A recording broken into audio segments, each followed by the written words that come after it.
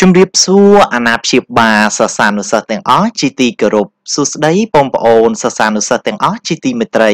វិលត្រឡប់មកជួបគ្នាសាជាថ្មីម្ដងទៀតជាមួយនឹងមុខវិជ្ជាភាសាខ្មែរថ្នាក់ទី7ហើយយើងនៅតែបន្តទៅលើមេរៀនទី4របស់យើងដែលស្ដីអំពីសេចក្តីថ្លៃថ្នូរនៅក្នុងថ្ងៃនេះលោកគ្រូក៏លើកយកនៅសមត្ថភាពថ្មីមួយទៀតដែលតកតងទៅនឹងសមត្ថភាពវេយ្យាករណ៍ហើយយើងនឹងសិក្សាអំពី នាមការឬការកនាម ការបង្រៀននេះផងដែរជាការបង្រៀនដោយលោកគ្រូឈ្មោះជួសុភាជាគ្រូបង្រៀនមុខវិជ្ជាអក្សរសាស្ត្រខ្មែរក្នុងកម្មវិធីសាលាចំនួនថ្មីនៃវិទ្យាល័យព្រែកលៀបបាទតើបងប្អូនទាំងអស់គ្នា សុខទុក្ខយ៉ាងណាដែរសុខសប្បាយដែរឬទេ បាទសង្ឃឹមថាបងប្អូនអ្នកគ្នាសុខសប្បាយហើយជារៀងរាល់ថ្ងៃមានដែរបាន រំលឹកមេរៀនរបស់យើងឡើងវិញដែរឬទេ បាទជាការពិតណាសង្ឃឹមថាបងប្អូនអរគ្នានឹងឧស្សាហ៍ព្យាយាមនៅក្នុងការរំលឹកមេរៀនរបស់យើង ជារៀងរាល់ថ្ងៃដើម្បីឲ្យយើងនៅតែបន្តការចងចាំហើយយើងនឹងអនុវត្តទៅលើមេរៀនរបស់យើងជាដើមណាបើសិនជាមេរៀនជាផ្នែកវិទ្យាសាស្ត្រពិតជា គណិតជារូបគីមី គឺយើងអាសាធ្វើលំហាត់ឡើងវិញរីឯមុខវិជ្ជា សង្គមភាសាខ្មែរភូមិប្រវត្តិទាំងឡាយគឺបងប្អូនឧស្សាហ៍អាននិងឧស្សាហ៍សរសេរឬក៏ឆ្លើយនៅសំណួរឡើងវិញទាំងអស់នេះវាជាកត្តាមួយនាំឲ្យបងប្អូនអរគ្នាអាចចងចាំក៏ដូចជាអាចជោគជ័យនៅក្នុងការសិក្សារបស់យើងបាទ អរគុណអញ្ចឹងមុននឹងចាប់ផ្ដើមនៅមេរៀនអំពីសមត្ថភាពវេយ្យាករណ៍របស់យើងលោកគ្រូសូមបង្ហាញនៅវត្ថុបំណងនៃមេរៀនដែលក្រោយពីចប់មេរៀនរបស់យើងនៅថ្ងៃនេះបងប្អូនទាំងអស់គ្នានឹងអាចប្រាប់បានពីបញ្ញត្តិនាមការអ្វីទៅគឺជានាមការហើយលើពីនេះបងប្អូននឹងអាចបង្កើតនៅនាមការបានត្រឹមត្រូវ នៅក្នុងមេរៀននេះក៏បង្ដុសនៅបងប្អូនទាំងអស់គ្នាឲ្យប្រើប្រាស់នាមការ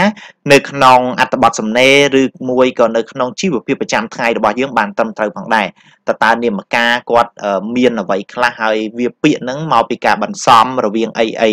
បាទអ្វីនិងអ្វីជាដើមបាទអរគុណហើយមេរៀន សមត្ថភាពវេយ្យាករណ៍នាមការនេះបងប្អូនទាំងអស់គ្នានឹងអាចរកអានបន្ថែមបាននៅក្នុងសៀវភៅពុំភាសាខ្មែរថ្នាក់ទី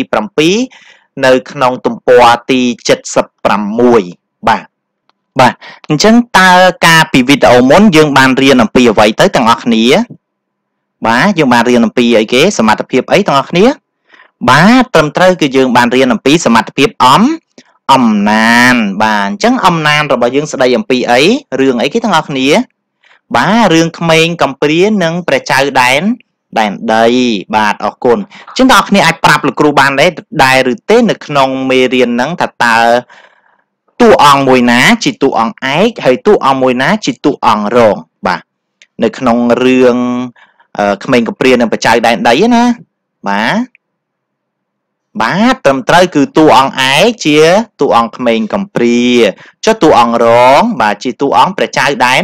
ដែនដី បាទយើងចូលទៅដល់សំណួរទី2របស់យើងដែលជាសំណួរកិច្ចការផ្ទះដែលលោកគ្រូបានដាក់ឲ្យទាំងអស់គ្នាបាទតើរឿងក្មេងកំព្រានិងប្រចៅដែនដីខាងលើ បានផ្ដល់នៅកតិអប់រំអ្វីខ្លះដល់ប្អូន បាទអញ្ចឹងគេសួរតកតងជាមួយនឹងគំនិតអប់រំបាទអញ្ចឹងគំនិតអប់រំតាមរយៈក្មេងកំព្រានិងប្រចៅផែនដីហ្នឹង បាទបានអប់រំអីគេខ្លះបាទបាទទី1គឺអប់រំឲ្យយើងកុំឲ្យមើលស្រាលការការងារបាទតួយ៉ាងដូចជាព្រះចៅផែនដីអញ្ចឹងបាទគឺគាត់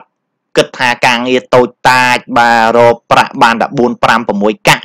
បាទវាមិនជាអីអស្ចារ្យណាប៉ុន្តែការងារទាំងអស់សុទ្ធតែបំពេញឲ្យគ្នាទៅវិញទៅមកបើសិនបើអត់មានអ្នកលាងចានក៏អត់មានអីហូបណាអញ្ចឹងយើងកុំមើលស្រាលការងារការងាររបស់មនុស្សម្នាក់ម្នាក់តែងតែមានគេហៅថាភាពចាំបាច់ឬមួយក៏សារៈសំខាន់ខុសៗគ្នាបាទអរគុណចំណុចទី2គឺតាមរយៈរឿងហ្នឹងគឺឲ្យយើងចេះឲ្យតម្លៃទៅលើការងារមានន័យថាការងារទាំងអស់សុទ្ធតែ សំខាន់ដោយលោកគ្រូបាននិយាយអំបញ្ញមិញអញ្ចឹងបាទ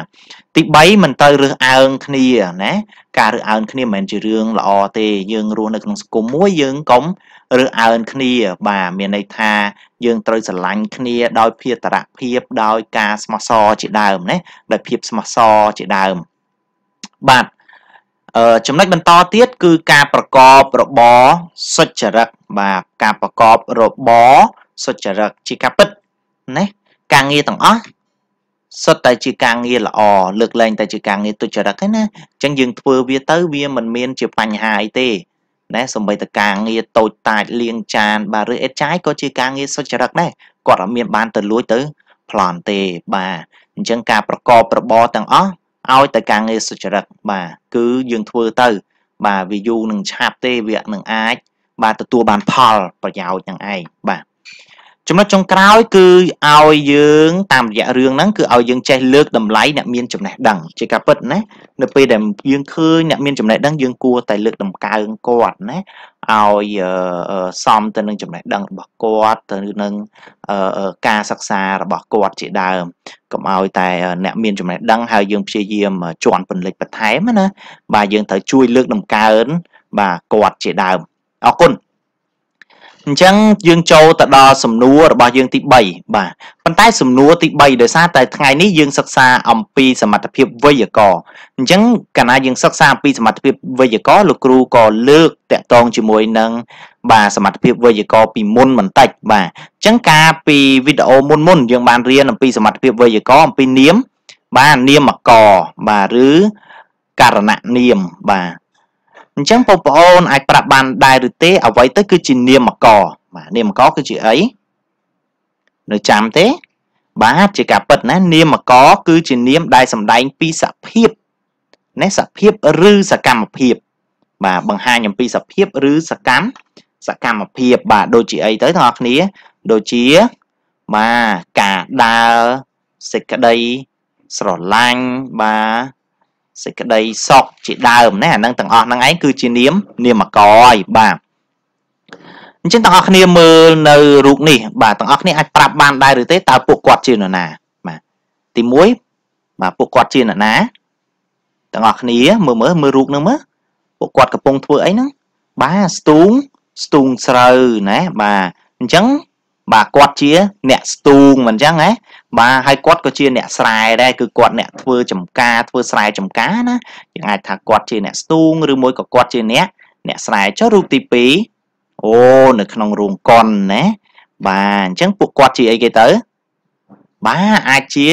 អ្នកទស្សនាឬមួយក៏ទស្សទស្សនិកជនណាកំពុងតែមើលតាមដានរឿងតាមដានការសម្ដែងមួយអញ្ចឹងទៅបាទចុះទី3នេះទាំងអស់គ្នាពួកគាត់ជានរណា បាទត្រឹមត្រូវណាពួកគាត់ជា អ្នករបាំបាទឬមួយក៏ជាអីគេមួយទៀតទាំងអស់គ្នាដែលយើងច្រើនប្រើបាទគឺសិលសិល្បករសិល្បករនីណាយើងឃើញហើយគឺពួកគាត់ជាសិល្បករសិល្បករនីបាទចឹងទាំងអស់គ្នាតកតងមិញដែលយើងឃើញអ្នកស្រែអ្នកស្ទូងទស្សនិកជនអ្នកទស្សនាសិល្បករសិល្បករនីអ្នករាំអីទាំងអស់ហ្នឹងអាហ្នឹងគឺជាអីទៅទាំងអស់គ្នាតើគ្នាដឹងទេ តើពាក្យទាំងអស់ហ្នឹងគឺជាអីទៅបាទអញ្ចឹងរាល់ចម្ងល់ទាំងអស់នេះយើងនឹងចូលទៅក្នុងការសិក្សាមេរៀនរបស់យើង ក្នុងសមត្ថភាពវេយ្យាករណ៍ស្ដីអំពីនាមការឬការកនាម ដែលនៅក្នុងមេរៀនទី4របស់យើងគឺសេចក្តីថ្លៃថ្នូរបាទអរគុណអញ្ចឹងយើងបានសិក្សាហើយតើបងប្អូនអាចប្រាប់លោកគ្រូបានដែរឬទេតើនាមកខុសពីនាមការមិនទៅបាទ នាមកខុសពីនាមការមិនទៅ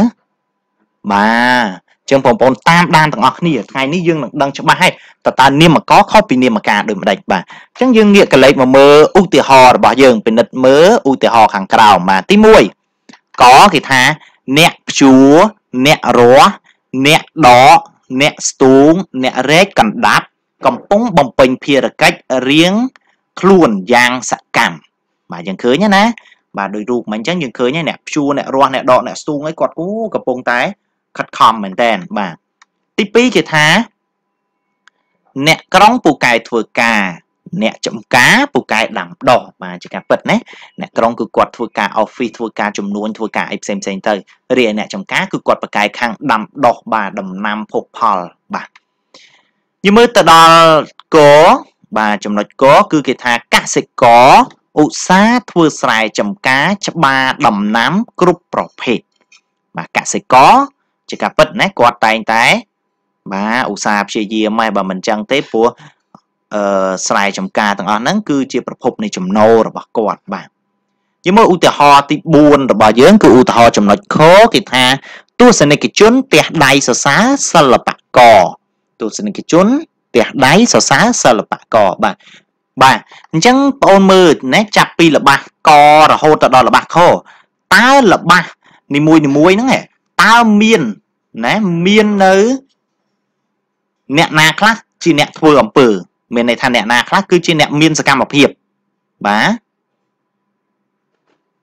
បាទត្រឹមត្រូវណាយើងឃើញហើយអ្នកព្យួរបាទអញ្ចឹងយើងមើលល្បះទី1យើងឃើញមានអ្នកព្យួរអ្នកព្យួរគាត់មានសកម្មភាពមែនទេបាទគាត់ជានរណាជាមនុស្សមិនអញ្ចឹងហ៎ បាទជាមនុស្សព្យួរស្រែបាទយើងឃើញមានពាក្យទី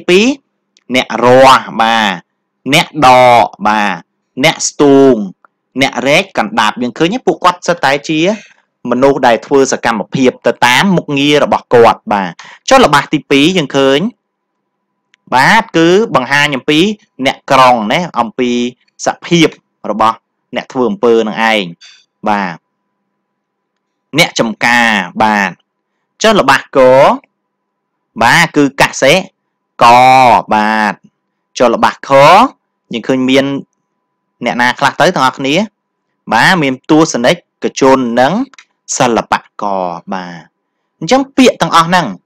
ណាពាក្យអ្នកក្រងអ្នកចំការកសិករអ្នកព្យួរអ្នករស់អ្នកដកអ្នកស្ទូងទស្សនិកជនសិល្បករទាំងអស់ហ្នឹងគឺជានាម បាទគឺជានាមការណា បាទអញ្ចឹងស្អីទៅនាមការទាំងអស់គ្នា បាទនាមការគឺជាអ្វីបាទអញ្ចឹងដូចម្ដេចដែលហៅថានាមការបាទអញ្ចឹងនាមការឬការកនាមជានាមសម្ដែងពីអ្នកធ្វើអំពើយើងឃើញណាឬក៏អ្នកមានសភាព លក្ខណៈបែបណាមួយ បាទឧទាហរណ៍ដូចជាអ្នកធ្វើអំពើអ្នកព្យួរអ្នករស់មិញណាបាទដល់ពេលអ្នកមានសភាពលក្ខណៈបែបណាមួយដូចជាអ្នកស្រែអ្នកចំការអ្នកក្រុងជាដើមគឺបង្ហាញពីសភាពរបស់ថាអ្នកក្រុងអ្នកស្រែឬមួយក៏អ្នកចំការនឹងឯងបាទអរគុណបាទអញ្ចឹងយើងចូលទៅដល់ភាពខុសគ្នា បាទលោកគ្រូបានធ្វើការប្រៀបធៀបឲ្យទាំងអស់គ្នាមួយ រវាងនាមកនិងនាមការបាទតើនាមក ខុសពីនាមការដូចម្ដេចបាទអញ្ចឹងទាំងអស់គ្នាមើលណាអញ្ចឹងនាមកយើងដឹងហើយថានាមកគឺជានាមដែលបាទសំដែងអំពីសភាពប្រាប់អំពីសភាពឬមួយក៏ bằng សំដែងអំពីសកម្មសកម្មភាពបាទអញ្ចឹងនាមកសំដែងអំពីសភាពឬសំដែងអំពីសកម្មភាពចុះនាមការបាទនាមការគឺសំដែងអំពីអ្នកធ្វើអំ អំពើបាទតួអង្គធ្វើអំពើហ្នឹងណាបាទឬក៏សំដែងពីអ្នកមានសភាពបាទជាអ្នកមានសភាពលក្ខណៈបែបណាមួយបាទយើងឃើញណាឧទាហរណ៍ដូចនាមកគឺបង្ហាញអំពីសភាពបាទដូចជាថមអញ្ចឹងគឺគាត់សបាយរីករាយហ្នឹងណាបាទភាពសបាយឬមួយក៏ការ សបាយរីករាយបាទចុះនារីម្នាក់នេះបាទគឺអ្នករាំបាទយើងឃើញណាគាត់គឺជាអ្នករាំបាទជាអាចជាសិល្បករជាដើមអញ្ចឹងគឺលក្ខណៈរបស់នាមកគឺខុសពីនាមការដូចឆ្នេះឯងណាគឺនាមកសម្ដែងពីសភាពឬនាមការគឺសម្ដែងអំពីអ្នកធ្វើអំពើ បាទគេតែងតែនិយាយថា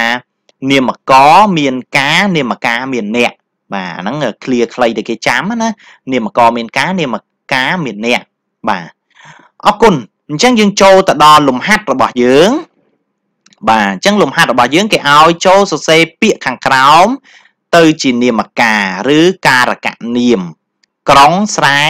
ចំការភ្នំសិល្បៈដកស្ទូងរំចាំងបាទអញ្ចឹងយើងមើលចម្លើយរបស់យើងបងប្អូនទាំងអស់គ្នាបាទបាទអញ្ចឹងគេឲ្យយើងទៅសេពាក្យខាងក្រោមទៅជានាមការឬការកនាមបាទអញ្ចឹងក្រុង បាទក្រុងយើងទៅសេមិនទៅទាំងអស់គ្នា ទៅជាអីបាទទៅជាអ្នកអ្នកក្រុងចុះស្រែចំការ បាទយើងអាចទៅសេទៅជាអ្នកស្រែចំការចុះភ្នំ បាទយើងអាចទៅសេទៅជាអ្នកអ្នកភ្នំចុះសិល្បៈបាទអញ្ចឹងសិល្បៈយើងអាចទៅជា អ្នកសិល្បៈឬមួយក៏សិល្បករបាទកចង់ចុងហ្នឹងក៏មានន័យថាជាអ្នកដែរបាទចុះដក បាទយើងអាចសរសេរទៅជាអ្នកអ្នកដកចុះស្ទូងបាទអ្នកស្ទូងចុះរំបាទអ្នករំចុះពាក្យចាំពាក្យចាំអីគេទៅ បាទយើងអាចដាក់ថាអ្នកអ្នកចាំឬមួយក៏ឆ្មាំឆ្មាំមកពីពាក្យថាចាំណាមកពីពាក្យថាឆ្មាំមកពីពាក្យថាអ្នកចាំនឹងឯង គឺបង្ហាញអំពីឆ្មាំឧទាហរណ៍ថានៅអង្គរអញ្ចឹងណាមានឆ្មាំប្រាសាទបាទឆ្មាំគឺអ្នកចាំយាមប្រាសាទទាំងឯងបាទអរគុណអញ្ចឹងយើងលំហាត់យើងមានតែប៉ុណ្្នឹងឯងហើយមុននឹងបញ្ចប់មេរៀនយើងតែងតែមានតេស្តខ្លីបាទអញ្ចឹងលោកគ្រូចង់ដឹងថាតើទាំងអស់គ្នាចង់ចាំមេរៀនក៏ដូចជាតើយល់បានអំពីមេរៀនយើងបានប្រមាណភាគរយបាទអញ្ចឹងយើងចូលទៅកាន់តេស្តខ្លីរបស់យើងបាទទី1 នាមការឬការកនាមគឺជា គឺជាអីទាំងអស់គ្នា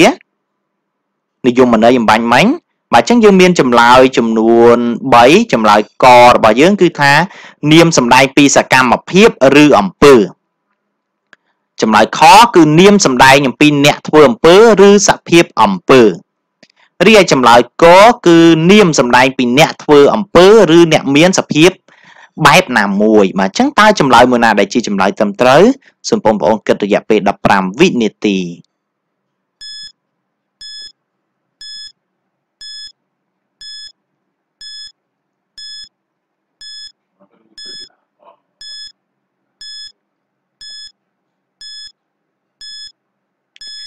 បាទអរគុណឥឡូវនេះយើងដល់ពេលហើយចាំបងប្អូនអាចប្រាប់លោកគ្រូបានដែរឬទេតើចម្លើយកខ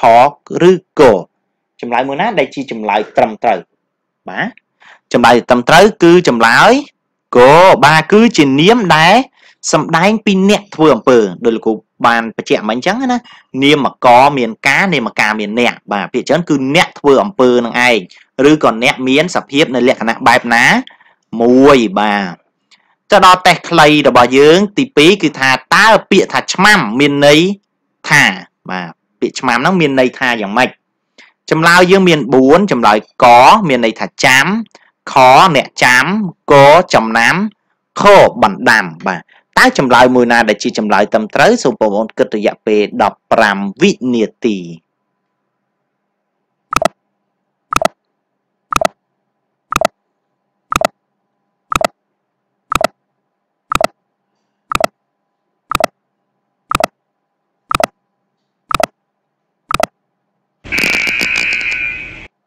បាទអរគុណឥឡូវនេះដល់ពេលហើយចាំបងប្អូនអាចប្រាប់លោកគ្រូបានទេយើងមិនសិក្សាហើយតើពាក្យថាឆ្មាំមានន័យថា មានន័យថាអីទៅទាំងអស់គ្នាចម្លើយកខកឬខចម្លើយដែលត្រឹមត្រូវនោះគឺចម្លើយបាទខគឺមានន័យថាអ្នកចាំបាទឆ្មាំមានន័យថាអ្នកចាំបាទឆ្មាំប្រាសាទឆ្មាំអីណាបាទ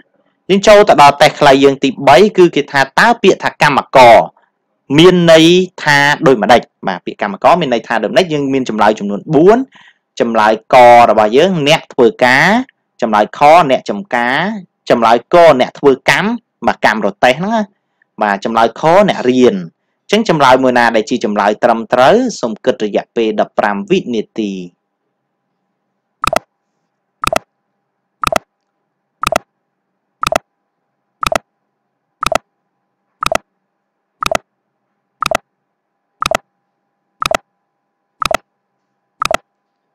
បាទអរគុណឥឡូវនេះដល់ពេលហើយអញ្ចឹងបងប្អូនអាចប្រាប់លោកគ្រូបានដែរឬទេតើកម្មករ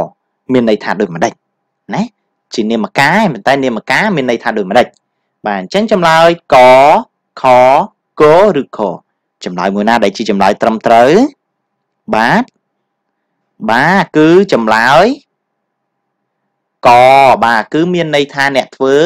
អ្នកធ្វើការបាទអរគុណអញ្ចឹងយើងចូលទៅដល់តេស្តខ្លីយើងទី4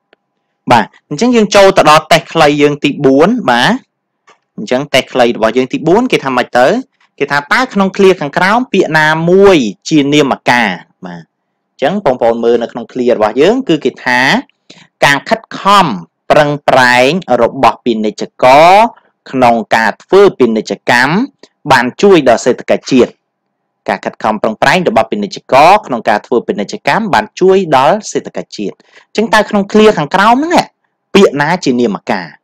បាទអញ្ចឹងយើងមានចម្លើយចំនួន4ចម្លើយកគឺការខិតខំប្រឹងប្រែងចម្លើយខពាណិជ្ជករចម្លើយកពាណិជ្ជកម្មនិងចម្លើយខសេដ្ឋកិច្ចជាតិតើចម្លើយមួយណាដែលជាចម្លើយត្រឹមត្រូវសូមបងប្អូនគិតរយៈពេល15វិនាទី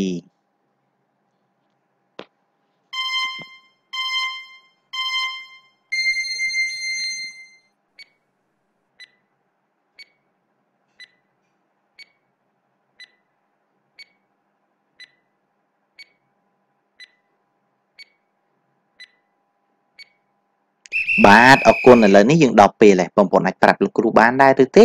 តើចម្លើយកខកឬខចម្លើយមួយណាដែលជាចម្លើយត្រឹមត្រូវបាទចម្លើយដែលត្រឹមត្រូវនោះគឺចម្លើយបាទខ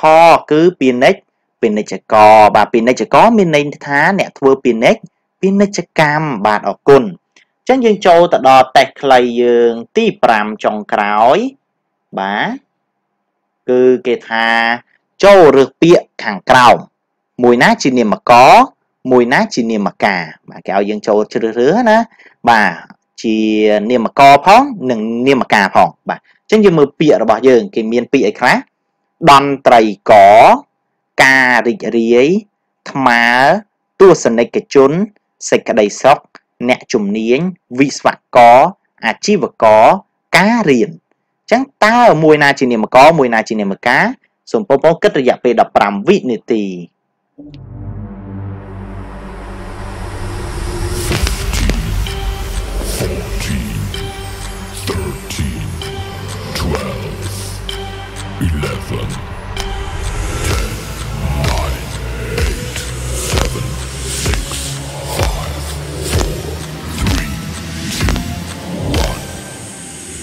បាទអរគុណ ចឹងបងប្អូនទាំងអស់គ្នាអាចឆ្លើយប្រាប់លោកគ្រូបានដែរឬទេថាតើពាក្យមួយណាជានាមករហើយពាក្យមួយណាជានាមការបាទយើងមានតារាងយើងនាមករនិងនាមការបាទតន្ត្រីករបាទតន្ត្រីករជានាមករឬនាមការទាំងអស់គ្នាបាទគឺជានាមការបាទគឺបង្ហាញអំពីអ្នកអ្នកតន្ត្រីអ្នកលេងភ្លេងហ្នឹងណាតន្ត្រីករបាទចុះពាក្យការរីករាយ តើការរីករាយជានាមកឬនាមការបាទបងប្អូនប្រហែលដឹងហើយណាលោកគ្រូបានប្រាប់ក្បួនមិញមកផ្លែតហើយបាទអញ្ចឹងការរីករាយគឺជានាមនាមកបាទគឺបង្ហាញអំពីសភាពបាទណាសភាពរបស់អំពើឬក៏សភាពលក្ខណៈណាមួយចុះពាក្យថ្មើបាទថ្មើគឺនាមកឬនាមការមើលទាំងអស់គ្នាពាក្យថ្មើ បាទអញ្ចឹងថ្មើគឺជានាម បាទគឺជានាមការបាទថ្មើមានន័យថាអ្នកអ្នកដើរបាទបាទពាក្យទី4របស់យើងទស្សនិកជន បាទទស្សនិកជន គឺអីទាំងអស់គ្នាយើងរៀនហើយមិញបាទទស្សនិកជន គឺជានាម នាមការបាទអ្នកទស្សនាចុះសេចក្តីសុខបាទសេចក្តីសុខគឺជានាម នាមកបាទចុះអ្នកជំនាញបាទអ្នកជំនាញគឺជានាម នាមការបាទចុះវិស្វករបាទវិស្វករក៏ជានាមនាមការដែរគឺជាអ្នកធ្វើវិស្វកម្មនឹងឯងចុះអាជីវករបាទអាជីវករក៏ជានាមនាមការដែរអាជីវករគឺអ្នកធ្វើអាជីអាជីវកម្មបាទអ្នកលក់ដូរតាមបាទហាងតាមអីហ្នឹងបាទចុះចុងក្រោយការរៀនបាទមិនប្រាប់ក៏បងប្អូនដឹងដែរមិនអញ្ចឹងណា បាទគឺជានាមនាមកបាទអរគុណអញ្ចឹងបងប្អូនទាំងអស់គ្នាបានគិតហើយហើយមេរៀនរបស់យើងក៏មកដល់ទីបញ្ចប់តែមុននឹងដល់ទីបញ្ចប់លោកគ្រូតែងតែមានកិច្ចការផ្ទះសម្រាប់បងប្អូនបាទអញ្ចឹងកិច្ចការផ្ទះរបស់យើងនៅថ្ងៃនេះគឺចូលប្អូនតែងល្បះនាមកនិងនាមការឲ្យបាន3 3ល្បះបាទនាមក3នាមការ3បាទអញ្ចឹងកុំភ្លេចធ្វើទាំងអស់គ្នាណាបាទអរគុណ ជាមេរៀនរបស់យើងក៏សន្មត់ថាចប់តែ ត្រឹមប៉ុណ្្នឹងឯងហើយលោកគ្រូសូមជូនពរទាំងអស់គ្នាឲ្យមានសុខភាពល្អហើយខិតខំប្រឹងប្រែងរៀនសូត្រទាំងអស់គ្នាណាបាទខណៈពេលនេះលោកគ្រូសូមអរគុណនិងសូមជម្រាបលា